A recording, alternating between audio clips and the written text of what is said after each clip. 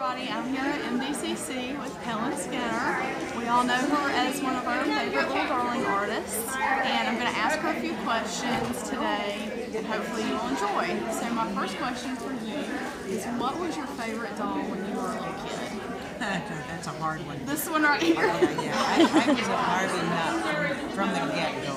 I was about four years old when I first became totally, totally thrilled with Barbie and Skipper, and, and, and still do. So right now, do you have a favorite doll? It Barbie still, or do you? No, I, I, Like? I, I'm terrible. I, if, I like pretty. I like fashion. I like realistic. Um, I, I don't. I like some girl, but it's got to be realistic. I like. I do realistic. Okay. Next question is, at home, how do you display all your dolls? I have two large uh, glass cases in my bedroom, which kind of creep my husband out, but that's okay. Deal with it. And then my studio, my wonderful husband built me shelves, so I have where I paint is uh, my display area too for all the different, like, and I change them out for the seasons and all that. That's really I'll be showing you my That's a- Halloween display very soon. That's something I need to start doing because I love that idea.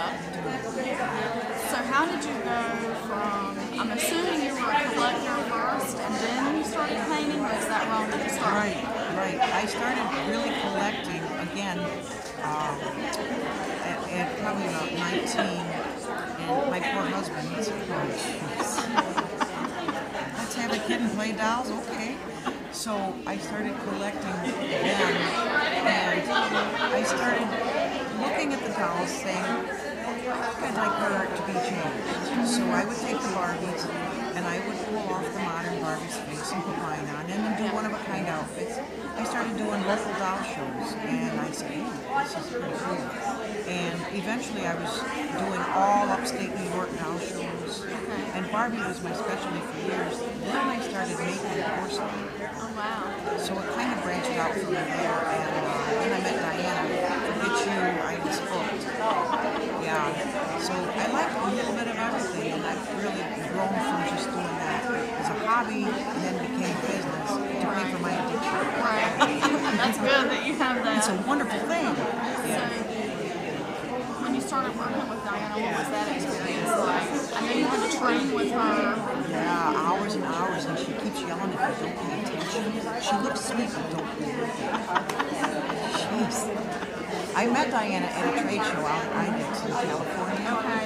And I was working on a fashion doll, which actually didn't come about. Um, it- there's a few of them out there, but um, my partner with this called me and said, you couldn't get over the booth, they're all sold out, so we have to share a booth. And I said, oh, okay.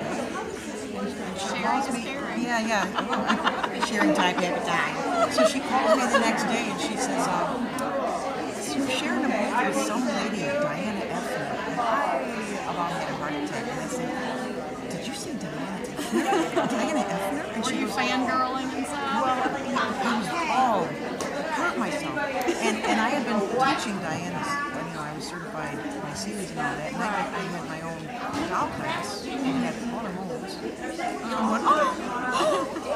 well, we get there. And of course, I go to the booth and there's nice, white, sweet Diana. I love you. Not now. Okay. She was really blown over by me, but I didn't care.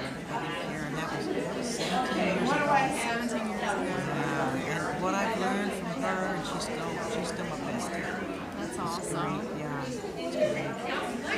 When you go to paint a doll, is there a certain like to go for? For example, do you like brown eyes and freckles best, or are you just kind of wide open and just kind of do whatever you feel like the doll's personality I swear, is? I know it sounds kooky, but, you know, when I tell people I'm a doll artist, they say, okay, it's kind of kooky anyways, but when I start the dolls, I, I go through a process where I, I mush them all, I do, I do a bunch of them at once, and then, and then when I start doing them one-on-one, do details and all that, I do uh-huh. three at a time. I do have three on my desk, and they literally tell me what to do. So I, I, I would have the plates there, I pick them up, and I wash it together, the whites and the eyes, and I usually about 19 coats of color in that. And, and they, and even with those, I, I go pick them up and, and go to do the lips, and they just kind of say, oh, you know, literally, lips, I want, I want pink lips. And, and each doll does that. They, they all I got my iPod up on top of my desk, so the Janis Joplin dolls might be a little zinier than the Simon and Garfunkel dolls. You know? But I get replaced or what? Yeah, yeah. Just for a minute. Just for a minute. So they, yeah, they talk. That's so. Not out loud. though. Just artistically. They artistically speak. Alright, so next question is if somebody wanted to purchase one of your dolls, what's the best way for them to go about doing it? Would it be coming to a show or checking out? I know you sell some more stuff on eBay. I sell I sell on eBay a lot. Um, I've been doing eBay for 22 years. But also, I don't take orders. I don't take orders, and I don't have a line. I don't. I don't That's want my customers way waiting. And I yeah, you know, and I used to do that with the fashion dolls, and it was terrible. You know, and um, so what I do is, if somebody gets a hold of me at mspinsoaol.com, and they drop me a note and say, hey, Helen, are you busy now? I say, well, yes or no. Uh, so I pretty much let them know how long it'll take, and, and usually what I do is, it, it is a pretty good process to go through, and and I do it that way. But pretty much that's it. I don't have a website. I don't try to advertise because You have plenty of it's fun. It's fun, and I like to keep it. Like to keep it fun. Because now, with our rental coming year, I might be ready. So that was my next question. For the record, are you going to be at Modern Doll in San Antonio next year? With bells on. Um, I'm going to do an event now. You hear that? Yep, very limited edition, hand painted, and I'm going to dress them and everything, right from top to bottom. Yeah, So be there square next year. right. Actually, don't too many people sign up because I need to be able to get in too. that's right. But Yeah, to have lots of good surprises. It's going to be great. it's going to be so much fun. Is there anything else you'd like to tell all the collectors out there? Well, just thank you so much for all the support for all the years. It's been great. It's been fun. Keep it up from the world. We all love you. Thank you for sharing your time with us and sharing your art with us. Um, and hopefully we'll see you guys next year at MDCC. It's a lot of fun. It's in San Antonio. You can meet Helen.